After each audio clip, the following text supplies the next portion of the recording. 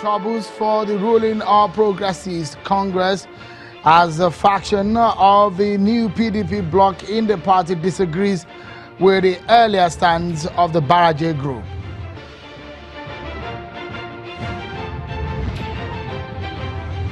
And Senator Ovie Omo-Agege will be resuming plenary tomorrow in what suggests a new showdown with his colleagues.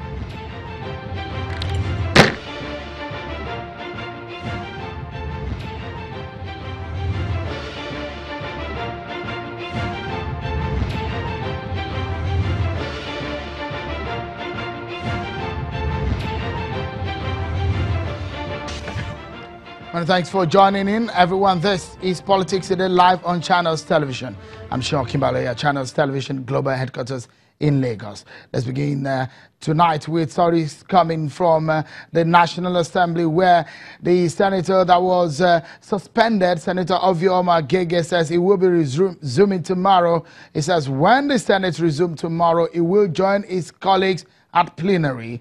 The lawmaker representing Delta Central Senatorial District, Senator Omo-Agege, said despite the appeal filed by the Senate and its President Bukola Saraki against the court ruling, he will be resuming duties. Why I should not show up tomorrow. Uh, if I decide to show up tomorrow, you'll be there. But that will be on advice of counsel.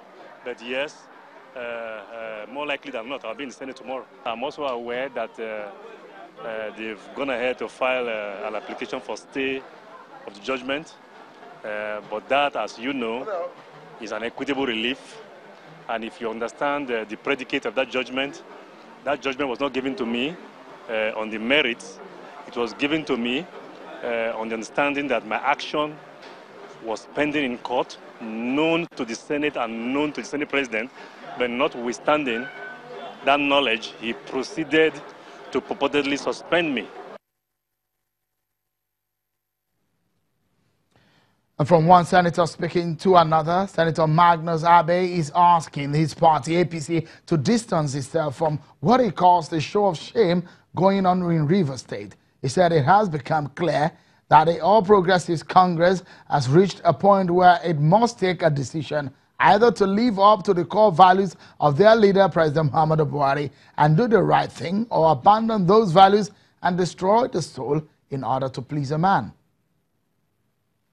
There was absolutely nothing like a Congress in River State because the people who would have contested in the so-called Congresses, they still have their tellers.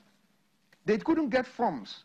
It was about 4 o'clock when people were already posting pictures that they have finished Congress, oh, Congress was successful, that I heard an announcement on the radio from the chairman of the committee that came in from Abuja saying that people who had tellers we seem to have uh, a wrong soundbite for you. We will give you what, uh, what, Senator Magnus Abe said at an earlier press conference today in Abuja, the nation's capital.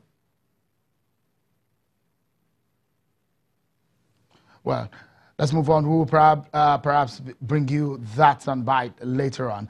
The APC said it has received with great shock and embarrassment the news that a former acting chairman of the PDP, Alhaji Kawu Baraje, led four others to deliver a letter they claimed on behalf of the NPDP, the new PDP that is, which is defunct and has long dissolved into the APC during the 2013 merger.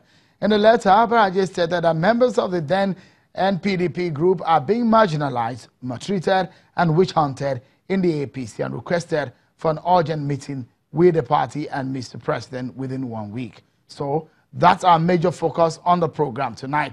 But let's tell you about the fact that the crisis rocking the APC is perhaps what is giving some leaders of the party some concern. But some, some of them believe that they will overcome that crisis. We had a one-on-one interview with the governor of Nasarawa State, Tanko Al-Makura, and this is his views on the crisis rocking the APC.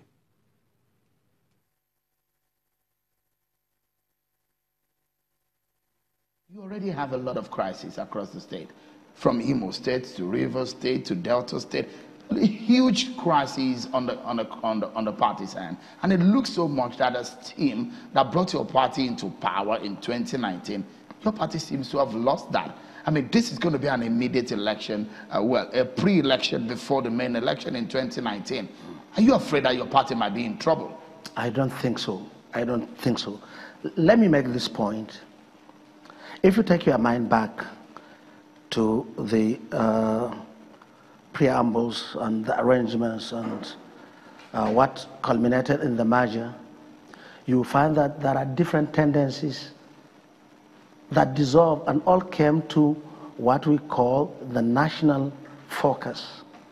Never in the history of this country had such large number of independent political entities with different tendencies come together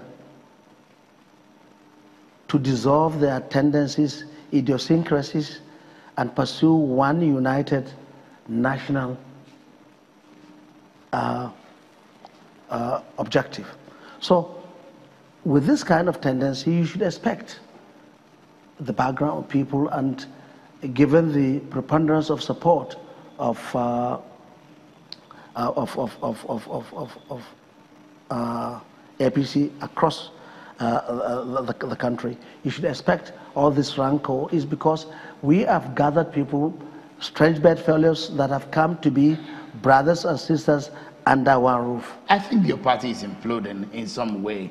Uh, I see some kind of implosion in your party in some way. Uh, if you look at it, uh, uh, uh former governor of Osun State, Olagunsoye Oyinlola, has left the party. Uh, the, Kawu Baraje, one of the people who led the new PDP, are threatening to leave the APC. And it looks so much to me that the connections and the web of these people politically is more than the, what we see on the surface. These people are highly connected. When they moved, they shifted the, the, the, the, the grace over PDP and they moved it over to APC. Are you seeing that that kind of grace or that kind of shift or revolution is nearing or knocking at the door of APC?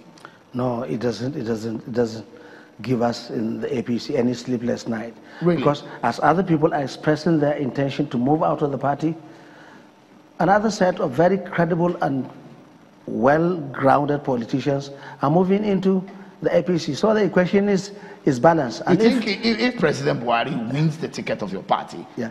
He will win the general election? Do you think so? Oh, definitely. Really? You oh. think he's a sellable candidate? Sorry? Buhari, do you think he's a sellable candidate? Oh, highly sellable, highly sellable. Don't forget, Buhari had come a long way. He had participated in this exercise over time. But let's look at his participation from 20, 20, 2011. Look at the amount of legitimacy, the support, the tumultuous uh, uh, fans and, and, supporters that he had. In the last election before 2012, uh, 2015, he had 12 million votes. And you cannot tell me that these 12 million votes have depreciated. If anything, we have increasing number. Governor Tanko Al-Makura, who is succeeding you in Nasarawa State? Only God knows. You don't know? I don't know. Do you, but do you have a favored candidate? I, I don't have From one. what we hear, we do know that you have some names, well, a name close to your chest.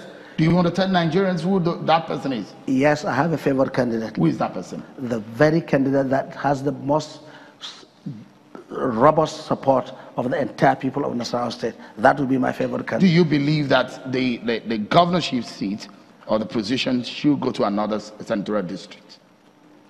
Um, much as there is clamor for uh, a kind of uh, equal opportunity for all the zones, uh, we are living in a democratic setting.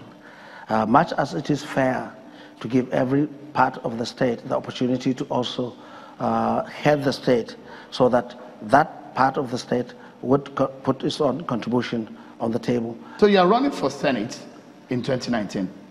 So they say. Is that what you are going to do? I, have been uh, inundated with a lot of requests and uh, uh, encouragement to, to gun for Senate. Um, I have not taken a decision yet, but at a proper time, uh, when I uh, am done with uh, the most important thing before me, I will call stakeholders meeting to maybe sound their opinion. If it's in their wisdom, feel I should, I should go for Senate, why not?